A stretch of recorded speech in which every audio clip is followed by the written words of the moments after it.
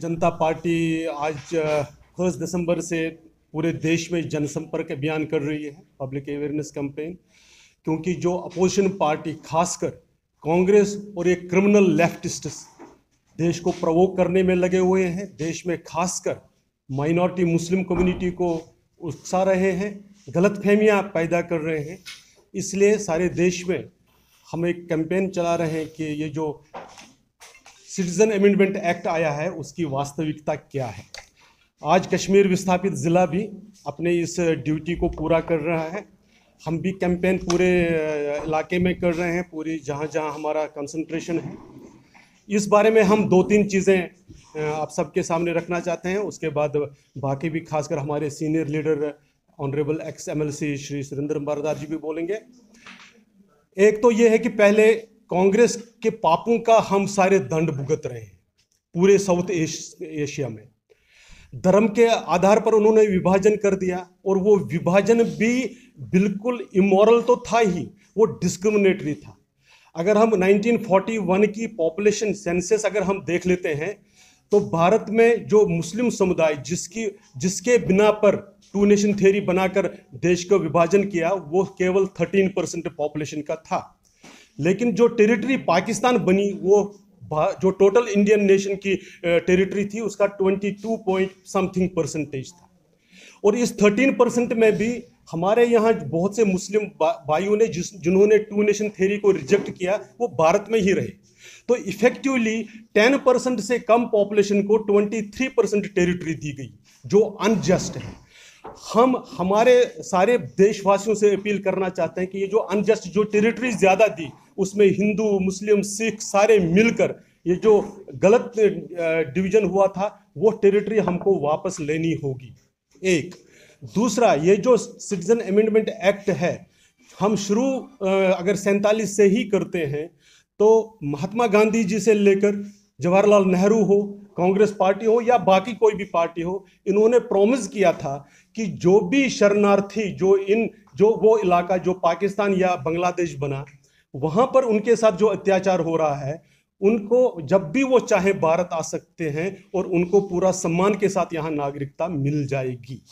उस वादे को, महात्मा गांधी जी के उस प्रॉमिस को हमने पूरा करने का काम कर दिया है। ये नागरिकता देने वाली सिटीजनशिप देने वाली एक्ट है। ये किसी से कुछ छीनने वाला नहीं, किसी भी भारतीय नागरिक से, चाहे वो हिंदू, मुस्लिम, सिख, ईसाई, क्रिश्चियन, कोई भी हो, उससे कुछ लेने वाला नहीं है। ये सिर्फ़ उन शरणार्थियों के साथ जिनके प्रताड़ना हुई है। हम हमें ध्यान में है एक रिंकी कुमारी करके, जिसने पाकिस्तान के सुप्रीम कोर्ट में चिल्ला चिल्ला कर कहा था, जज से कि मुझे यहीं पर गोली मार दो, मुझे वापस इन के हाथों में नहीं दे दो। उसके बाद भी वहाँ कोई सरकार नाम की कोई चीज़ नहीं, कोई इंस्टीट्यूशन ऐसा नहीं था जिसने उसको बचाया हो। तो ऐसे अत्याचारों से प्रताड़ित होकर जो भारत में आ रहे हैं, उनको नागरिकता देने के, उनको सम्मान देने का ये थोड़ा सा एक काम जो प्रॉमिस सैंतालीस से बापू ने किया था, वहाँ से शुरू करके हुआ था, लेकिन किसी भी सरकार में जानबूझकर वो ऐसा नहीं कि वो करना चाहते होंगे। अगर करना चाहते तो ज़रूर किया होता, उन्होंने नहीं किया है। एक दूसरी बात यहाँ पर जो खासकर जो क्रिमिनल लेफ़्ट है, जिनको सिर्फ़ वो टू नेशन थ्योरी नहीं, वो मल्टीनेशनल थ्योरी वो भारत को बाल्कनाइजेशन में विश्वास करने वाले लोग हैं, वो आजकल फेक नैरेटिव खड़ा कर रहे हैं और लीड कर रहे हैं और उसमें लीडिंग लाइट्स हैं, जावेद अख्तर साहब जैसे लोग। उनको ये ध्यान में रखना चाहिए, खासकर फैज़, अहमद फैज़ का नाम लेकर फैज़ कोई फरिश्ते नहीं थे। उनको भी स्क्रूटनाइज करना चाहिए। उन्होंने जो लिखा है, उसको क्यों ना स्क्रूटनाइज किया जाए? ऐसा, ऐसी कौन सी वो इसमें है कि वो डरते क्यों हैं उसको स्क्रूटनाइज करने के लिए? हम आजकल जब इतिहास देखते हैं तो उनकी बाकी भी कारनामे वो कोई सादात हुसैन मंटू नहीं थे। हैज़ डिफरेंट है और लोग उसको आंकेंगे, उसको इवेलुएट करेंगे, इसमें चाहे जावेद अख्तर को अच्छा लगे, बुरा लगे, इसमें कोई फ़र्क नहीं पड़ता है। जिसने जो गलत काम किया है, उसके बारे में भी, और अच्छा पॉजिटिव किया है उसके बारे में भी। कोई, वो इसमें से रैशनल उसका एक ये होना चाहिए। दूसरा, हम देशवासियों से निवेदन करेंगे कि सिर्फ़ ये पॉलिटिक्स के कारण जो हो रहा है, उसमें बहकावे में ना आए। इस सिटीजन अमेंडमेंट एक्ट हमारा एक कमिटमेंट था, उसको पूरा किया है।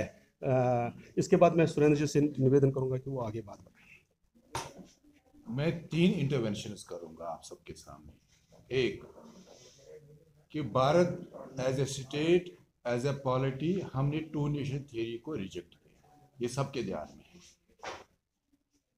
दूसरा, कांग्रेस और अरुंधति राय